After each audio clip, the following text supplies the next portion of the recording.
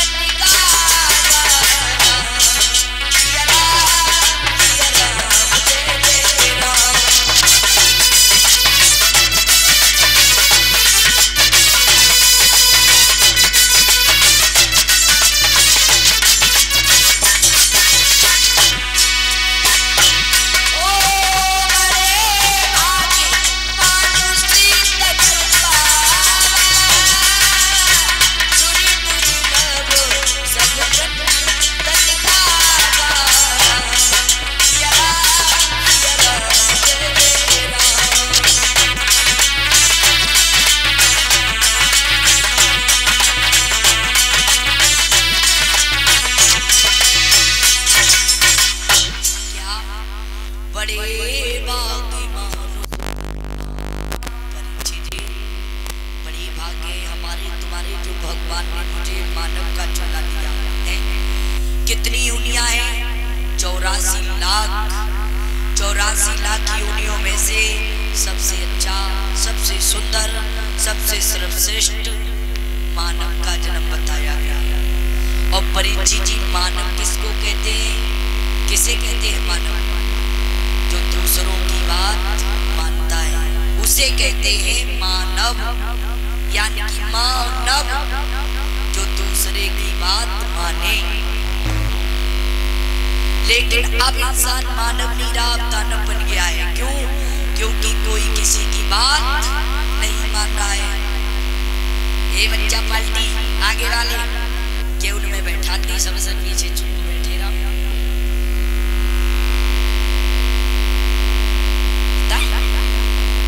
बातचीत नहीं करोगे चुप बैठो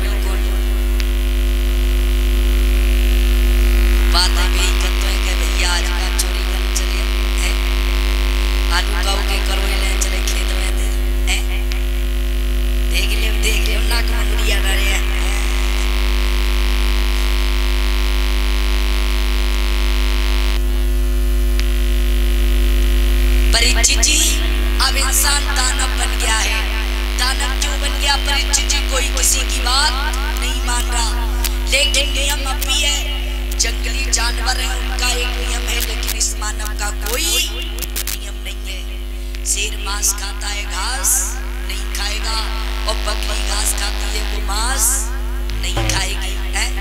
आजमाइश कर लेना शेर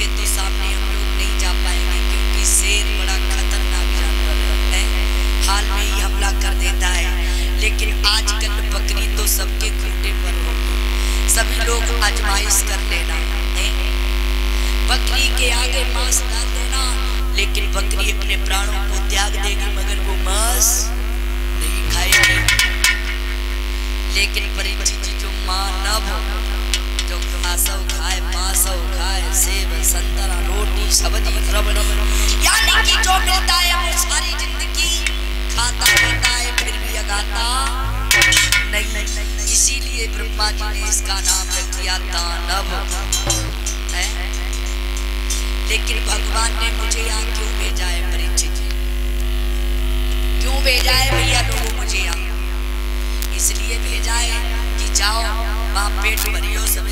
सवेरे खाली कर दियो संजा को भलियो सवेरे खाली कर दियो इसलिए भेजा, नहीं भेजा ना। इसलिए भेजा, जाओ तुम पृथ्वी पे, मेरा नाम करो। मेरे नाम की माला जपो, है? लेकिन इंसान यहाँ आकर के सब कुछ भूल गया। बड़े बड़े वादे भगवान से किए, लेकिन सब कुछ भूल गया, क्योंकि और किसी ने लिखा है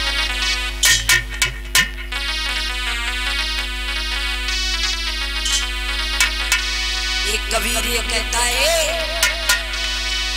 कि जाएगा जब यहाँ से कुछ भी न साथी होगा।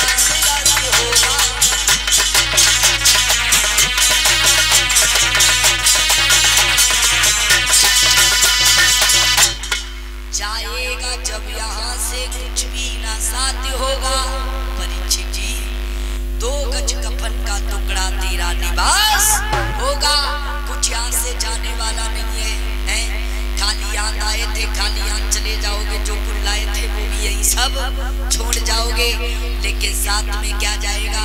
जो मैंने अच्छे कर्म किए या बुरे कर्म किए, वही साथ जाएगा, हैं? तो किसके लिए जोड़ रहे हो?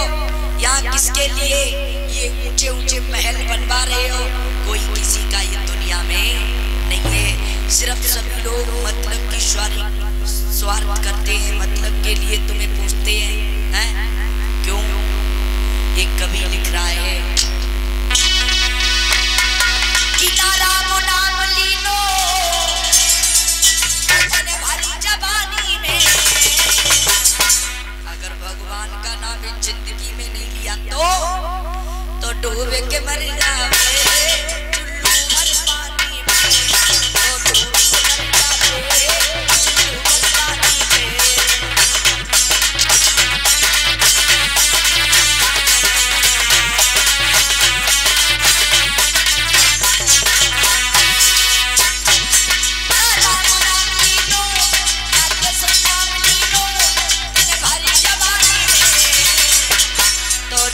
डूब के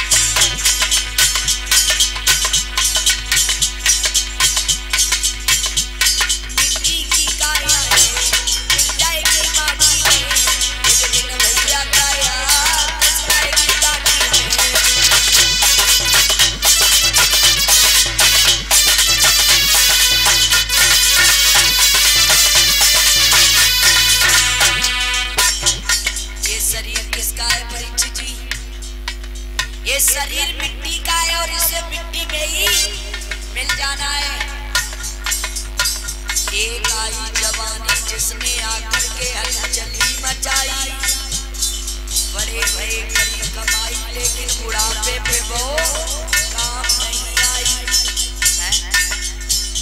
और जब जवानी आई तो सारे रंगी ढंग बदल गए जेब में गंगा है और ने घूम करके आए, चेहरा धो